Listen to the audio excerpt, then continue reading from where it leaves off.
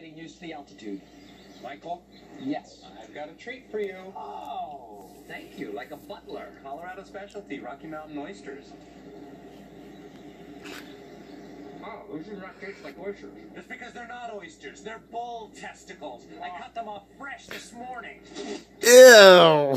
Freak, what is wrong with you? What is wrong with you? I'm the sick freak? Yeah. After what you did, you expect to be bundled? And you didn't recommend me? Wait, I don't own Dunder Mifflin, okay?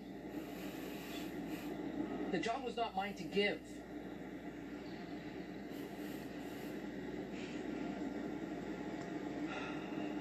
Look, I need your advice on something. I am told that there are bears in the Rockies. Where did you hear that? Sirius XM radio? Well, I was just thinking that maybe I should keep a salami in my pocket Great idea. in order to feed the bears. Especially if you think that life would be better without legs. How do you mean? Black bears can smell a salami at five miles, Michael. What are you thinking? And they run faster than a horse. So if you were thinking about outrunning them on a horse, I would try a cheetah. You, in tight pants, Michael, are a salami to a black bear.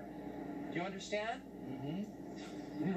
You're like a giant walking salami. Okay, so no salami in the pants. How about a pepperoni? Any kind of meat you can possibly name.